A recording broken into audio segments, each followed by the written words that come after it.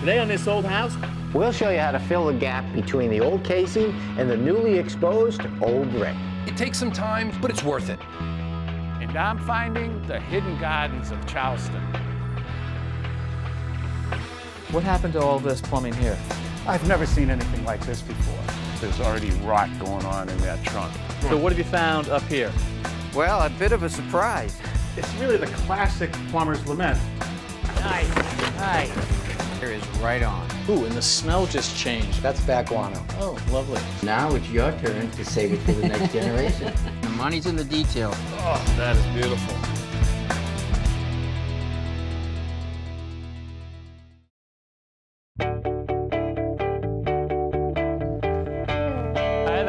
I'm Kevin O'Connor, and welcome back to this old house here in Charleston, South Carolina, where we are working on a couple of projects. Now, this is the first one. It is an 1840s Charleston single, and because we're in a historic district, the facade of this building is not going to change much. But on the inside, well, that's a whole different story. This house hasn't been updated in decades, and you can see that there's plenty of work to be done. The plaster is failing throughout, and the homeowners want to make some significant changes. A lot of this plaster is actually coming off so that we can expose the original brick. They're going to be adding bathrooms throughout, and they're going to be reconfiguring this kitchen space. And man, a lot of work is happening here. Mark Rigobuto is our builder. Mark, good to see you. Kev, how are you? All right, you guys have been busy. We have been. All this plaster is off, huh? We took it all off. It was failing anyway. Mm. So the owner wants to go for a really nice exposed brick look. That is going to be very distinctive. All right. So, uh, do you have a final plan for the layout here? We sort of touched on it last time, but has it been decided on? It has now. Oh, good. You're standing in the new island, All right. which will be configured this way. Nice. Over here will be freezer, refrigerator, and cabinetry. Matter of fact, this is the old mantle that we were careful to preserve. That's a beauty. Over here, we're gonna have a large single bowl kitchen sink. Nice. We're going to take the door, convert it to a window to allow for cabinetry. Mm-hmm. Additional cabinetry here. And this will be the focal point of everything. Right. We've selected a ultra sleek modern range. Oh, cool. So that's actually one of the big changes, right? Because originally the stove was going to be on that wall. Now we're bringing it over here. Correct. All right. We want to keep the fireplace as a focal point, but utilize it and slide the range in. So sort of recess it into this. Absolutely. Wow. What what goes into that? We're going to demo out the old box, In here. open up the smoke chamber, mm-hmm. And rebuild this jack arch higher.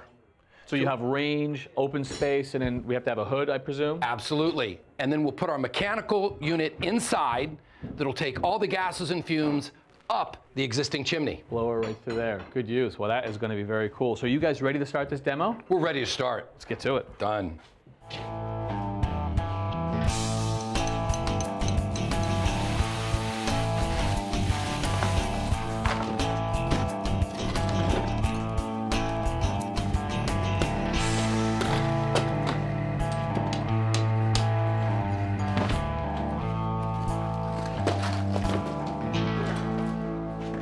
So you've got yourself a very big opening now. That's terrific. We do. And you did some restructuring up top.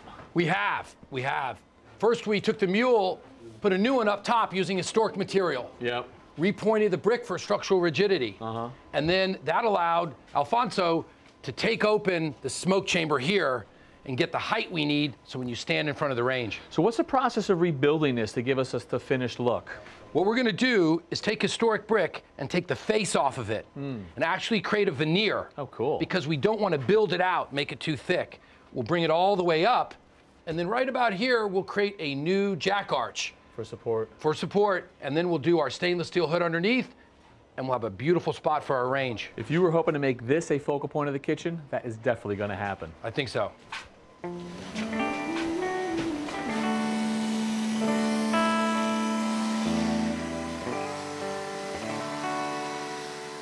Want to tackle all your home improvement projects with confidence?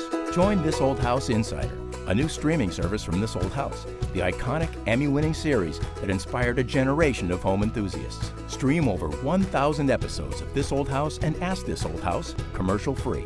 Watch it all in the This Old House app and join live online Q&As with our experts. Best of all, you can try Insider free for seven days. To join, go to thisoldhousemembership.com. Tommy, Mark, I see you got all the furring strips off of this wall here. You gonna leave the brick exposed? we are. All right, that's cool. Well, these furring strips are nailed onto these mules right here, and then they apply all the lath that go across this way, and then they plaster into it, and that hooks the plaster to the lath. So now when you remove it all, you end up with a gap behind your casing. Do you have a plan for that? We do. We have to solve it, Yeah. especially because it's a more formal house. If it was a more industrial application, we might leave that gap. Sure. But now we've got to do something.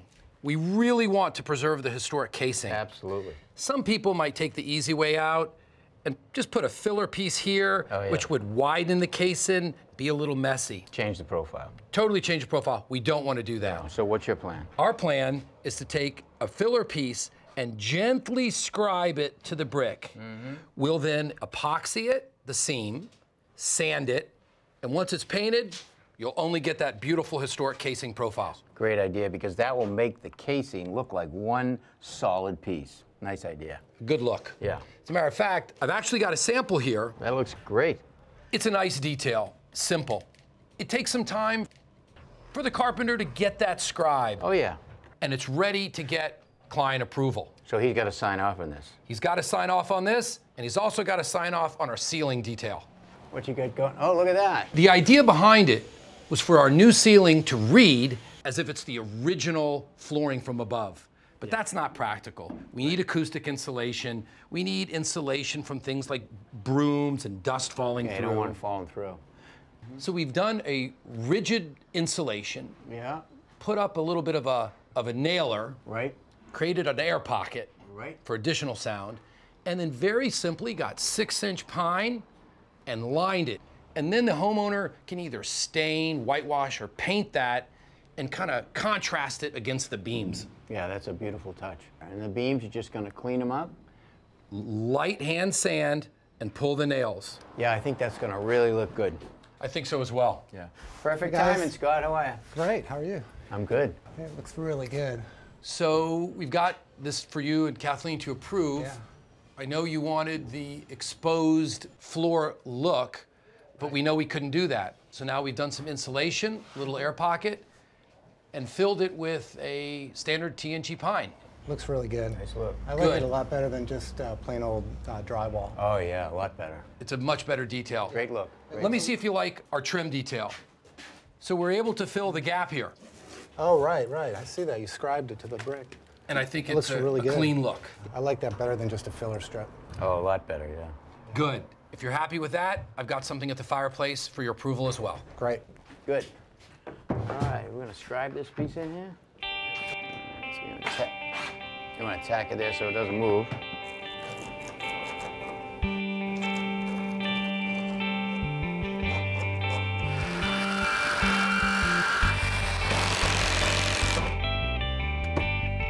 Wow, I am in heaven. Brick, brick, brick. The whole city built in brick. This neighborhood, 1840s. It's beautiful.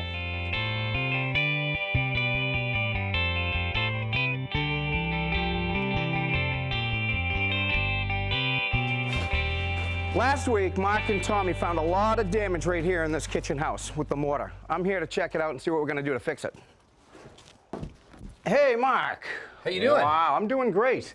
So, Mark, looks like a complicated mess that you have right here. I know that this mortar is, what, about 150 years old, right? Approximately. Okay, so up in Boston, there are certain things that we do to make sure that everything's going to be compatible, all materials. What do you guys do down here? It's a very common problem in this Okay. historic city. But we're fortunate. I got, I got a place right up the street. Great. I take a sample like this, I send it up. They'll not only give me a report on the color match, material composition, they'll formulate it for me and send it down in a bag. Wow, I got to see that place. This is Holly Hill, South Carolina, and we're at the cement plant. Hey, Troy. Hey, Mark. Troy, I know you're the market manager in this region, and I know a lot of builders will bring you their mortar to, for you to analyze. Yes, this is a sample from the building you guys are restoring in downtown Charleston. Uh, the builder asked us to analyze the mortar, And uh, we do that right here in our lab. Let me show you how it's done. Great. Hey, Scott. Hey. Mark, this is Scott, our quality manager. Hey, Scott. Hey, Mark. Got a sample for you. Okay, sounds good. So what we do when we get a sample like this, especially from an older building, we want to take a look at the composition of the mortar itself. We look at the uh, sample at the 20 magnification and you can see the lime and then you can also see the different uh, natural sand crystals. Okay, in the so sample Scott, well. the, the natural stuff is just all this discoloration right there. That's just different particles and sand and. Yes, exactly. Okay. And then the white particles you can see is, is the lime. so- Right. Which is what we wanted to verify. So we'll take it from here, we'll run a chemical analysis on to determine the ratio of each. All right. Great. Okay, Mark, this is where we uh, do the uh, chemical analysis of the sample. All right. Uh, we're doing an acid digestion to break down and determine the amount of actual sand in the mortar. Um, based on this, we did determine that it is a, uh, a three-part sand to a one-part lime uh, mortar, and that helps us to determine what uh, to recommend for a replacement for your uh, for your mortar. Okay, so essentially we have the answers to the test right now. Yes, exactly. Okay, great. So the next step for us is to see the, the work on the color and see the product made. And we do that at our Rainbow facility right next door. All right. Okay, thank you, guys. See you later. Mark, this is the final step. We're going to bring the sample in to Chris here. He's our color expert, and he'll match it for us. All right, so this is where it all happens, Chris. This is where all happens. All right, great. Mark, as you can see, we have a wide variety of colors from white all the way through black. Sure. Which we've used on the three panels up top, different mortars. Okay, so Chris, this is the same brick in each panel, but different mortars. Correct. Yeah, that's that's quite a difference. Mark, we also have numerous other channels, miscellaneous colors that we use to fall back on. Nice. Now those would be that's just custom stuff only. Correct. Yeah. Okay. This job, um, we come in and check the channels and, and do a visual. Yeah. And once we run into a good match, which happens to be this one. Yeah, you can This is that. the one the homeowner approved. Once it's approved, Yep. our raw materials are transferred into a blender mixer, and it is dropped down into our work bin with a three-spout bagger and palletized and hooded for shipment. Okay. At that point, it's ready for us, right? Ready for you. All right, because we got a lot of brick. But thanks very much, Chris. That was great. Yes, sir. Thanks. All right. And Troy, thank you. I mean, that was start to finish fantastic. Thank, you. Now you can watch This Old House and Ask This Old House anytime, anywhere. Download our new app to stream full episodes to your tablet, your TV, and your phone. Binge on classic episodes, catch up on recent renovation, and get step-by-step help projects all around the house. Best of all, it's free. The most trusted home improvement information is now available on your Amazon Fire TV, Roku, Apple TV, iOS, and Android devices. Download the This Old House streaming app today.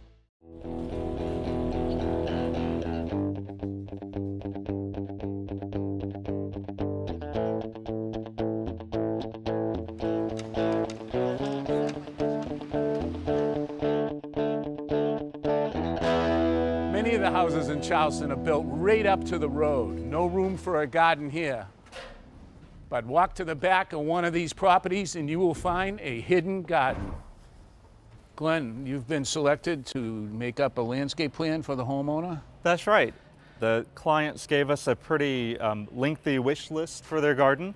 And even though we're on a really small lot here in downtown Charleston, we have a, a list of things including outdoor living area was one of their requests, uh, swimming pool, lounging area, and outdoor dining. See, you've got a pergola over there? Yeah, we're going to do a really nicely detailed timber pergola over here against this wall to a swimming pool and lounge area, uh, outdoor cooking, and an outdoor dining area that leads out to the driveway. The driveway will be paved with uh, brick and probably some crushed oyster shell. We always work hard to make sure the driveway is dressed up nicely enough that it can be part of the garden. Right. You've created a great urban space in here, and I hear you, that's what you're kind of known for. Right, we do it all the time. Would you like to go see a few of our gardens? I would love to. Great.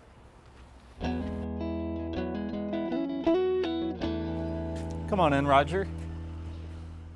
Now, I thought we would start our tour here because this is a Charleston single house, just like our project. And with that, you get the long, narrow lot and the garden that corresponds to it. So we have this big driveway coming down and bringing us into our first room. Is this another case of creating rooms again? It is, and so the, the entry room or the sort of foyer to this garden is the only part of the garden that's visible from the street. And there's just a beautiful view from the breakfast nook. Right, looking right out into the garden. And then if you focus back over to the walkway, you can see all the way to the back. I hear water. You do, Roger. But first, before you come to the fountain, is the outdoor dining area. So we've divvied this larger garden space into these smaller rooms. So we have outdoor dining, which leads right into the house, into the kitchen. Then the fountain in the center, which also gives you that sound of water all the time from mm-hmm. inside and out. And then we're having this little casual seating area framed in by some evergreens behind. And we go right into a sunken garden. Right, exactly. This is the only part of the old garden from the old uh, iteration of the house that we were able to save. And you take two or three steps down this was built, we think, in the 1950s. It's a great little seating area, and I, I think it just sort of sums up the fact that this is a casual family area of the house. And I really love that about this garden. Yeah, thank you. You know, I, I think having looked at something that's a bit cozy, we should go look at something a little different, a little more grand. Let's go. All right.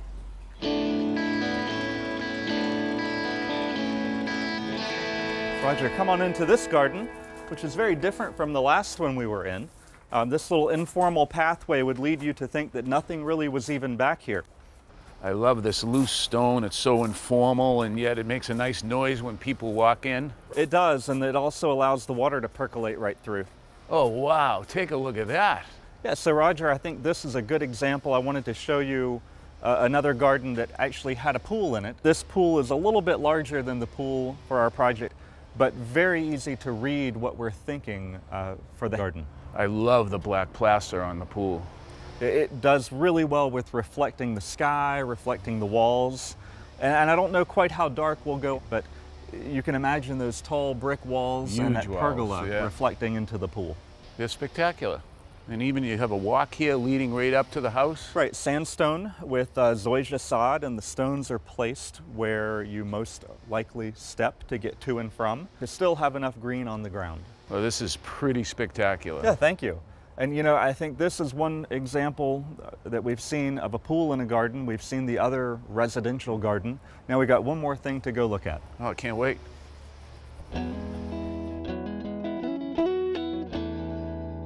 So Roger, to wrap up our tour today, I thought we'd come to a garden that's actually open to the public. We're at the Heyward-Washington House that is part of a museum. So you, you look around and this is a little different scale from our project. Yeah, definitely. But, but I thought it was good to show something that historically is represented a little more accurately on a larger property. You have the kitchen house, the stable, the privy, and then over to the right here, you can see a representation of where they would have grown their own vegetables. There's some citrus, grapes, and herbs all here. That's all right close to the house. To the house. They were very smart that way, weren't right. they? And then toward the back would have been more of a workyard with livestock.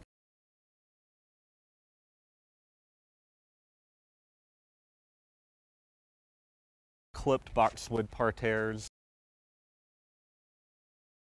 English garden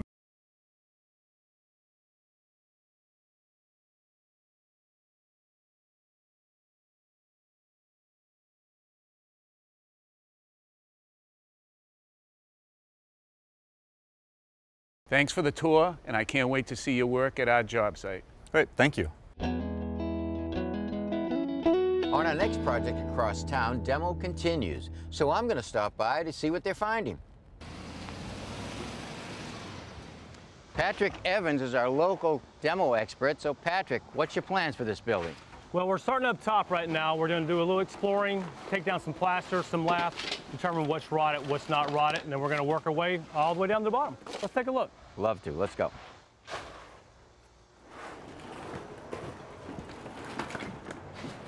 So right up here on the right-hand side, we've got some uh, we got some balloon framing for you to take a look at. Oh yeah, a balloon framing is actually a lighter framing.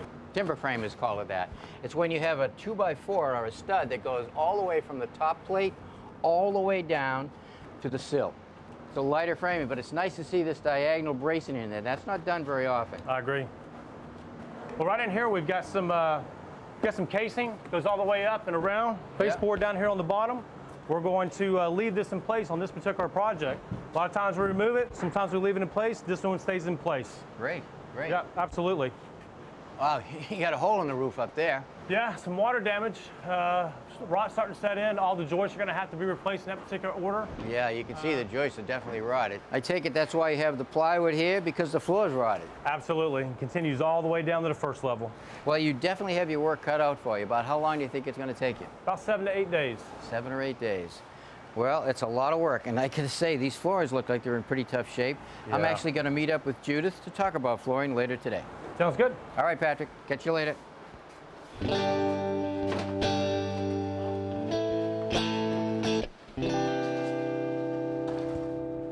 So Judith, demo is really coming along good at your house, but I notice that your floors are in really rough shape. They And you know, it's never too early to start looking at flooring, and that's why I brought you to this place right here. Thank you. Wow, thank you. Yeah, pretty nice, huh? Hi. Hi, April. Thank you. It's amazing. We have a lot of choices. So what do you have in mind for your flooring? Um, something amazing. Just, uh, I mean, this is a great place to start. I mean, uh, light, bright, Okay. uh, beautiful. All right, well, we have two different walls. Let's show this right here. This is actually reclaimed wood. All right, so this flooring was made from old beams or old joists and made into flooring. Texture. It's nice texture, mm-hmm. and if you notice, it's random widths. So do you like a wide or narrow flooring? You gotta think about that. Okay, great. Now let's look at this wall right here. This wall is all new wood, and it's designed and been cut just for flooring right from the beginning. All right, now in this climate here, they recommend a floor that is five inches or wider to be an engineered flooring. Okay. And let me show you what the difference between engineered flooring and solid flooring is. Okay. First of all, if we look at the new wood, engineered flooring is a veneer, and the veneer could be whatever species you want. And they put it on plywood, and the plywood gives it more stability, Makes sense. lessens the chance for it to cup or warp or twist. All right, let me show you some of the species they have down here. All right, let's look at this wall right here. The first thing I'm going to show you here is the density or the hardness of the wood. This hard pine is actually softer than this walnut, and this walnut is a little softer than this white oak. Okay. All right? What do you like, Tommy? Pre-finished or unfinished? Well, I actually like pre-finished, especially on a job site when we're trying to get it done quickly. If you used unfinished flooring, the flooring guys are going to come in and they're going to take over that space for maybe two or three weeks. No other work can get done. Pre-finished allows them to do work in other rooms and other work can be done. All right, I have a lot to think about. Thanks so much for the help. My pleasure. What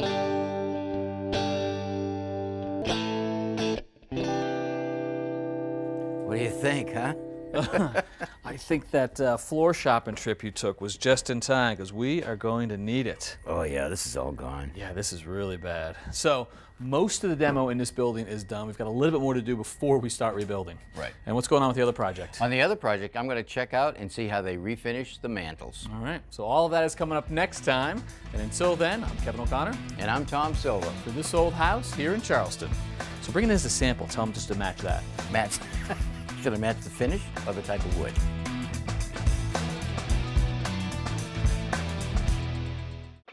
Next time on This Old House. We bring a pre-Civil War mantle back to life. Getting all the way through a mantle takes me about a week. Wow. You can't go far in Charleston without being reminded of this city's involvement in the American Civil War. And today we are headed to the place where it all began. You are in the most bombed area in all of North America to this day. And it's time to start repairing these old windows. This house has a lot of windows and they are all original. That means they're 177 years old. Thanks for watching. This Old House has got a video for just about every home improvement project, so be sure to check out the others. And if you like what you see, click on the subscribe button to make sure that you get our newest videos right in your feed.